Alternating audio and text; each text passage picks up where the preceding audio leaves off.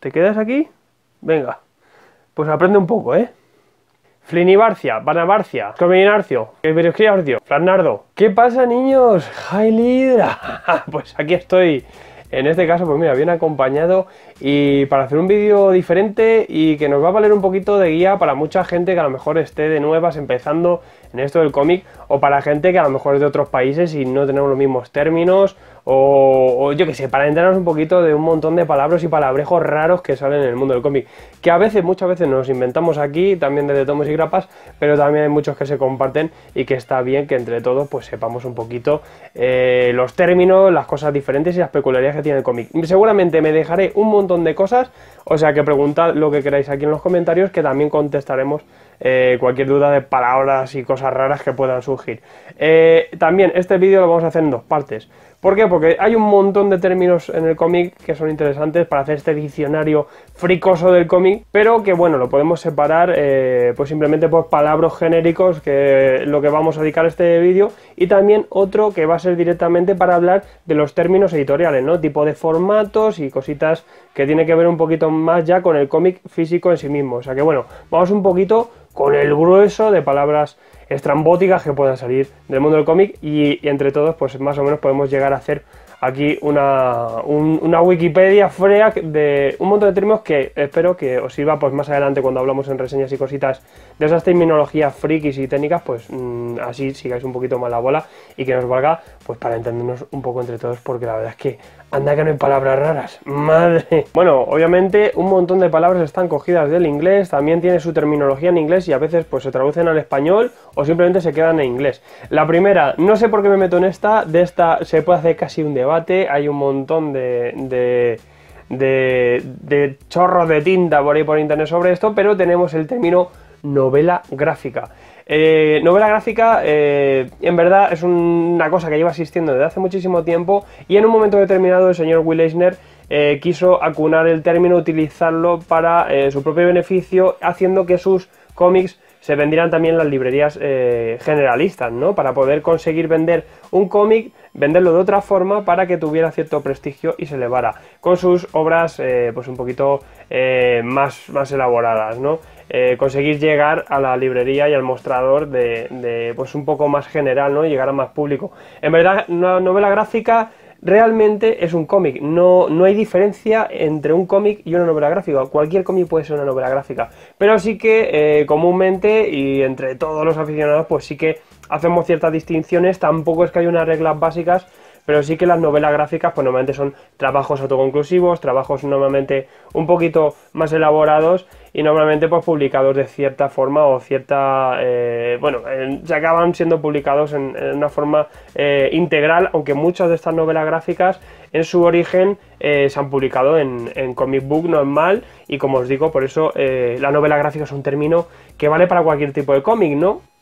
Eh, hay cosas que se designan como novela gráfica, otras como cómic, pues qué más da un poquito la forma, es simplemente la forma de, venderlo, ¿no? Igual que la BD. BD, que es la bandé de cine, que es el cómic franco-belga y también pues es, es en terminología que, utilizan pues para mencionar sus obras. Aquí en España pues también eh, muchas veces hemos llamado al cómic TVO pues simplemente por la publicación del TVO que se publicó ya, pues mítica esta, esta, esta colección. Y en base a ello, pues popularmente los cómics se llaman también TVO, ¿no? Pues tanto TVO como BD, como novela gráfica o como propio cómic, al final vienen a decir lo mismo, aunque en algunos como el TVO o la BD, pues puede ser un poquito más su origen y su, y su elaboración, pues decir un TVO, a lo mejor podemos asociarlo más a ese monigotismo, a ese rollo de bruguera, eh, y al propio TVO, ¿no? A ese tipo de, cómics que se hacían en esa revista. Y la novela gráfica, pues se asocian un poquito más, pues eso, al contrato con Deus, esas cosas que hacía Will Eisner, ¿no? Esas novelas eh, más especializadas, un poquito más conclusivas y más elaboradas. Pero bueno, como digo, no hay ninguna regla y al final todo viene a ser y significar lo mismo. Y también pues tenemos tipos de cómics, eh, conocéis el cómic manga, conocéis el cómic europeo, el cómic español, eso es muy fácil, pero ¿qué es el cómic indie? Que también se habla mucho. El cómic indie en verdad es un cómic eh, que también es un término que se ha ido engendrando durante los años, ¿no? El cómic indie antes formaba parte más del cómic independiente, de autores que lo hacían de forma individual, muchas veces autoeditadas, pero hoy en día también es un término que se eh, utiliza y sirve para hablar de los cómics americanos que están fuera del contexto superheroico de Marvel y DC. Están un poco independizados en sí mismos de un poquito de lo mainstream, ¿no? Y editoriales como Image o Dark Horse actualmente se les considera como indie, pero como digo, en su raíz, el origen eh, era un poquito eh, más underground. Comic underground, comic underground ahora sí que puede ser el anterior indie, pero también se considera el comic underground, también hubo una corriente eh, de cómic underground muy importante. Y bueno, el cómic underground hoy en día pues sí que es ese cómic autoeditado, un poquito con unos términos, tiene su propio lenguaje, pero también es un cómic pues que, que, que, está fuera ahí sí que sí de cualquier editorial, es un trabajo mucho más especializado, un poquito más hecho por casa y es el cómic pues igual que la música pues lo más subterground que hay. Otro término importante, autor completo. Cuando decimos que un autor es completo, eh, ¿qué demonios es un autor completo?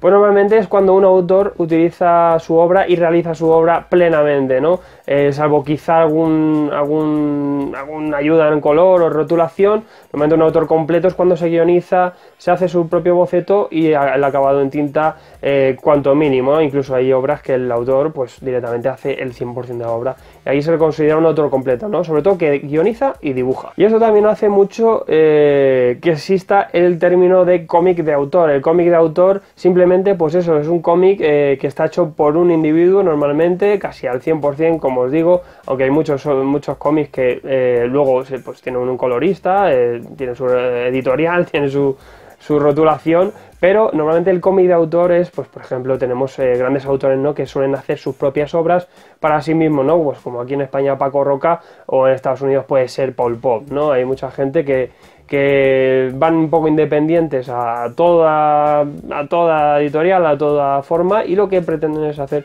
su propia obra y normalmente pues ese cómic de autor, que también pues es un término un poco pues variable, pero bueno, también se suele entender. Esto sí que en España, por ejemplo, lo entendemos mucho, sí que es una palabra que hemos acuñado mucho en España, pero también que fuera no se entiende nada. El pijameo.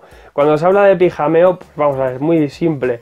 Eh, ¿Qué nos ponemos para dormir? Un pijama. ¿Qué llevan los superhéroes? Pues un pijama. Cuando hablamos de cómics de pijamas o el pijameo, estamos hablando de cómic de superhéroes, sin más. Gente que se pone sus pijamas y sale ahí a matar gente. Pijameo puro y duro. Y vamos con un poco de cositas también que pueden pasar dentro de un cómic. ¿Qué es un crossover? ¡Crossover! Eh, pues el crossover normalmente, como dice la palabra en inglés también, es un cruce entre eh, dos colecciones, a veces, o varias, ¿no? Puede llegar a haber un crossover entre multitud de, colecciones. Actualmente, por ejemplo, tenemos ese crossover entre Arma X y Hulk, Arma de Destrucción Mutante, ¿no? Pues en algún momento en el que decide alguna editorial mezclar varias colecciones que cuenten una sola historia y que tengamos que comprar dos o tres o más colecciones para continuar una historia, ¿no? Entre varias colecciones crearemos una historia, a lo mejor tenemos que comprar las dos, leerlo eh, de forma alternativa o a veces simplemente eh, es que unos participan en una colección y otros en otra, ¿no? Pues también ahí está ese crossoverismo. Y otra cosa que esto pasa en las series, pasa en las películas y también pasa en el cómic, que es el cliffhanger. cliffhanger. El cliffhanger en verdad es un gancho. El cliffhanger normalmente es cuando metemos al final de una historia un pa, toma ahí, te quedas con todas las ganas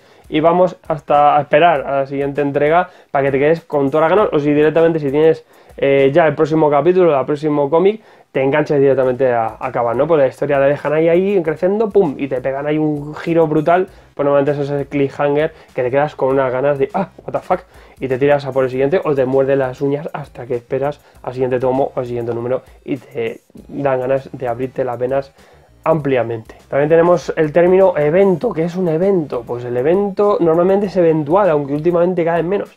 Pero un evento editorialmente pues se ha utilizado para eh, hacer una colección aparte, una colección que tuviera que ver con las colecciones eh, que se editaban actualmente, pues hemos visto con Secret War, luego tenemos con Civil War, pues normalmente son una historia aparte pero que afecta a las demás y que eh, normalmente es muy importante y es casi obligatorio de leer porque afecta a todas las colecciones. Normalmente los eventos son eh, momentos en los que vamos a tener un cambio de, rumbo editorial o nos vale para matar a alguien y normalmente pues siempre suelen pasar cosas interesantes. Ahora ya que sean buenos o no, eso ya depende de, cada uno. Y los eventos también traen cosas buenas, traen cosas malas y lo que nos traen también son los tie-ins. El tie-in en verdad es una cosa... Eh, depende un poquito, hay veces que el tie-in puede ir ligado a la colección, a veces no, a veces más, a veces menos.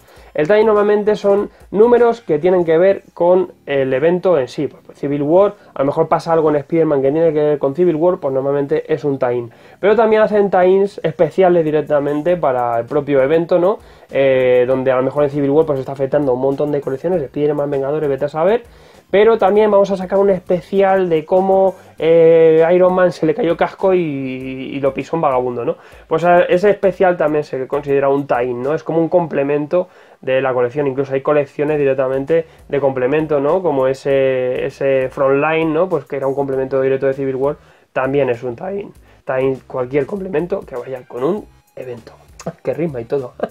y cuidado porque aquí tenemos una cosa que va un poco en contenido dentro de las colecciones. Etapa. Normalmente una etapa eh, dentro de una colección eh, suele ser por, eh, por equipo creativo. Una etapa, por ejemplo, los nuevos Vengadores de, de Bendis era una etapa, era una cacho de historia en la que se encargaba un equipo creativo, normalmente pues en este caso es un guionista, a veces un guionista con el mismo dibujante, en el que se encargan de narrarnos algo de, varios personajes durante bastante número. Es una etapa eh, que a veces cierra o incluso puede llegar a cambiar de, equipo, pero eh, continuar un poco la historia también puede llegar a ser una etapa. Incluso el mismo autor puede luego realizar una segunda etapa eh, cerrando su ciclo, pero bueno, siempre normalmente hablamos de la etapa de Bendis en Vengadores, de la etapa de Jonathan Hickman dentro de New Vengadores y Vengadores, podemos hablar de, la etapa de Fraction Aja de, de Ojo de Halcón, eh, normalmente suelen ligarse a los autores. Porque también lo que tenemos son las sagas. Dentro de, las etapas eh, puede haber una saga, ¿no? Pues la más famosa, por ejemplo, dentro de Marvel, la saga del Fénix Oscura, ¿no?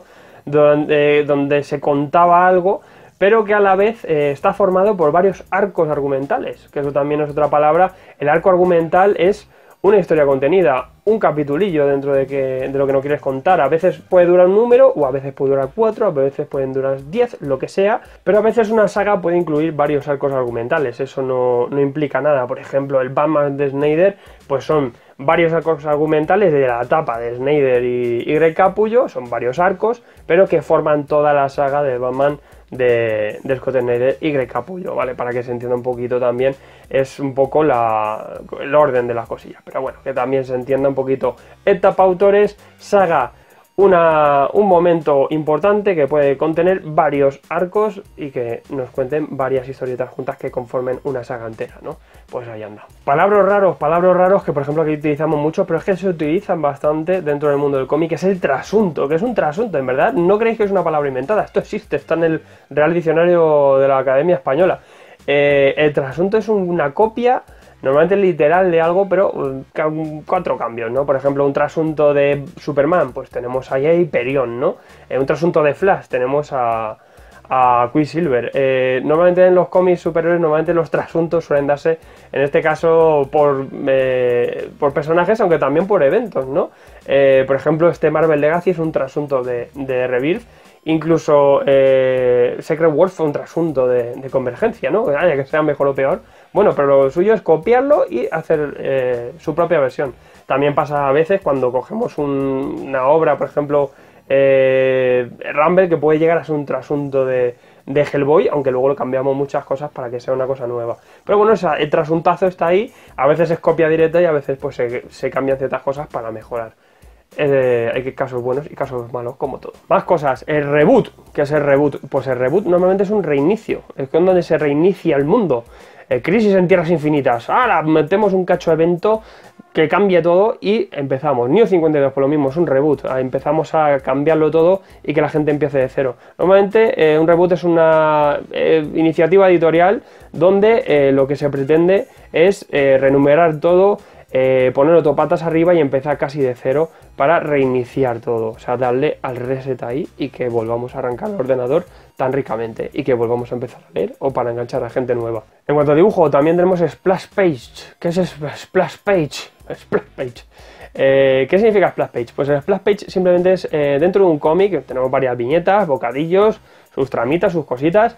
Y cuando una página es completa, cuando un dibujo es a full ahí en toda la página que vemos, hay un dibujote, ya mejor el Capitán América en toda la página, pues se dice que es un splash page. Puede ser un splash page a una página o a página doble. A veces cogemos las dos páginas y metemos un pedazo de dibujo ahí como Dios manda. Splash Page. También entre Marvel y DC tienen sus propias terminologías que a veces nos han metido como en DC los Elseworlds. Elseworlds eh, también es una línea editorial dentro de DC, pero que bueno, puede ser también eh, aplicado a otras colecciones, aunque suele ser muy típico de DC, que son los otros mundos, como viene a significar, en el que nos cuentan en historietas cortas, normalmente autoconclusivas, eh, cómo serían los personajes en otra tierra o con otra situación, ¿no?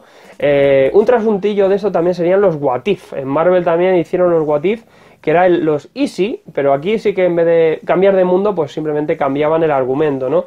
Eh, Easy Conan, en vez de llevar una espada, lleva una flauta, ¿no? Eh, cambiamos las ciertas cosas para contar otra historia, o a veces era simplemente pues cambiar un final, ¿no? En Secret World, pues como Doom eh, hubiera cremeado y cómo se hubiera hecho el más poderoso del mundo, ¿no?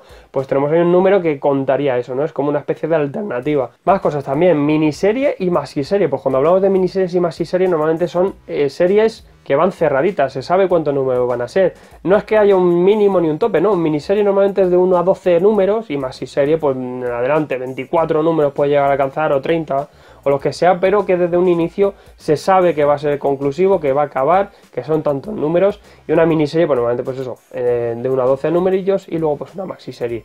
Eh, estos son como los singles, los maxi singles, ¿no? Pues igual, es una cosita más concreta y que sabemos que va a ser una serie eh, vamos a tener ciertos números y chimpum, pues como ese Batman White Knight, White Knight. Y cositas editoriales también que pasan a veces, cosas raras, pues a veces nos meten los feelings, nos meten un feeling que en verdad un feeling eh, viene a significar un sustituto, ¿no?